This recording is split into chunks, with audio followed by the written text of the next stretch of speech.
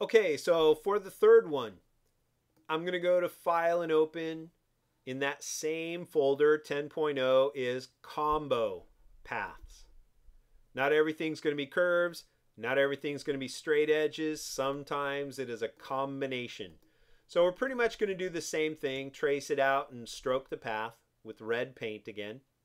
But now we have a straight edge, then a curved edge, then a straight edge. So I'm going to take my pen tool right here and again, if you have a straight line, you do not click and drag. That's the biggest mistake people make is they click and drag over to here. Okay, this is not a curve. So you're just going to click once at the beginning of a straight edge and let go. Hold shift and click at the end for a straight horizontal line. No clicking and dragging there. Okay, a curve is where you click and drag. So from the beginning of this curve, that's a corner.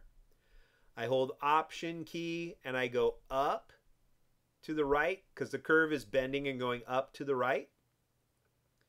Let go of my mouse, let go of the option key, and now I'm going to follow that curve.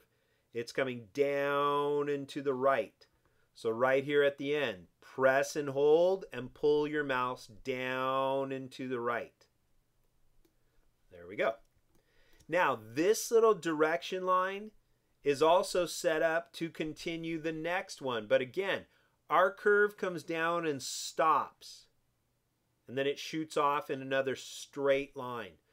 But this is also starting from a corner. So I'm going to hold Option key for a corner right here. And I'm just going to click, not click and drag because that's not a curve.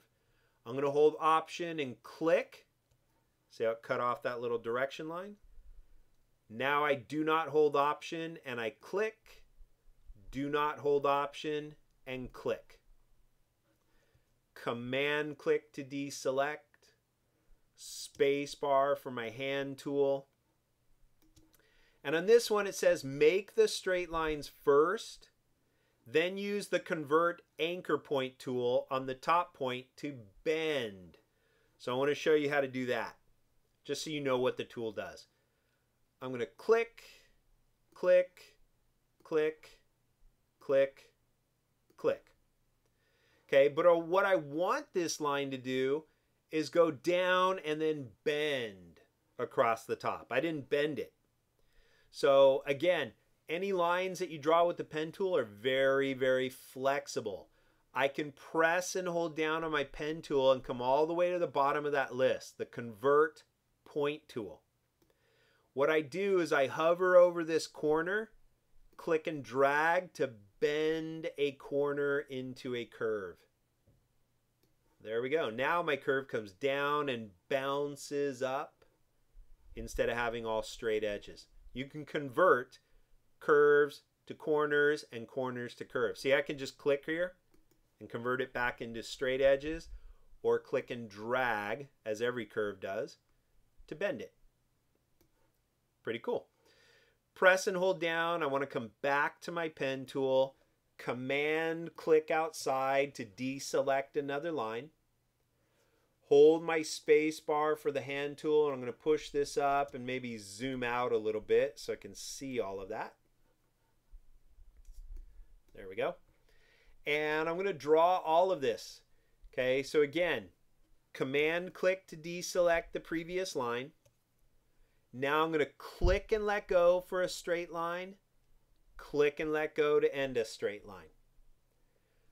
Curves is where you drag. Option key to start from a corner. The curve goes up to the right, so I go up to the right. Let go of the mouse and the option key. No option key at the end of your curve. Just click and drag it down to bend it. The next thing I'm going to draw is a straight line, so I'm not going to be clicking and dragging, but it also starts from a corner. So option key for a corner and click. Then I let go of the option key and click. Let go of the option key and click. The next thing starts from a corner. That's when I want to hold my option key, when I am starting from a corner. Option key for a corner, the curve goes back up to the right again. I let go of the mouse in the option key and I follow that curve. It's coming down and to the right. Press and hold and continue down and to the right.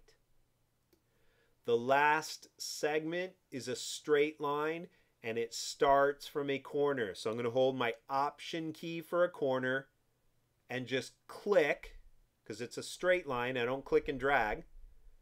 Now I let go of the mouse and the option key. Click to end. Command click always when you are done.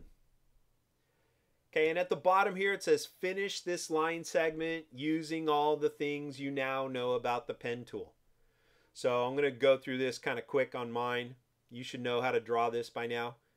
For straight horizontal lines, click, shift click. Option to start from a corner, the curve goes down. No option key and the curve comes up. Option key and click for a straight line from the corner. Shift click. Option key to start from a corner, the curve goes down. No option key at the end of the curve and the curve goes back up. Option key for a corner and click shift click for a straight line, option key to start from a corner and the curve goes down, no option key at the end of the curve and it comes back up, option key to start from a corner and click to start a straight line, shift click to end a straight horizontal line. Command 0 will zoom out. Again, we've got a work path so I'm going to double click the name and call that combo paths. Like I mentioned before, I click once down below, then I click once on the name. That will reactivate all of them at the same time. Click the pop-up, stroke all the paths with the same brush. You can turn simulate pressure on or off, doesn't matter to me. And there's my proof that I have traced them correctly. Click down below. Now I don't have to look at the paths anymore. I just look at my painted strokes. And I save that as combo paths. Last name, first name, combos or combo paths. So you show me you know how to connect straight edges to curved edges so we can move on and actually trace something in a photograph.